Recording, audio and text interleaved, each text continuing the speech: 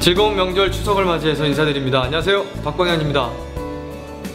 자, 풍요롭고 넉넉한 한가위처럼 온 가족이 함께 기쁨과 사랑 넘치는 추석 보내시고요. 앞으로도 소망하는 모든 일 좋은 결과 얻으시길 바라겠습니다.